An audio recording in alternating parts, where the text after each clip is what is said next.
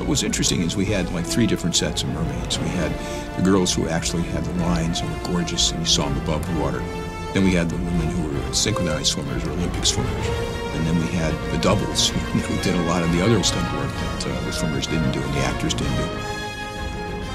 I didn't expect to be um, killing anybody or being evil, an evil mermaid, but it's going to be awesome. We get to be really beautiful and then we get to be really scary.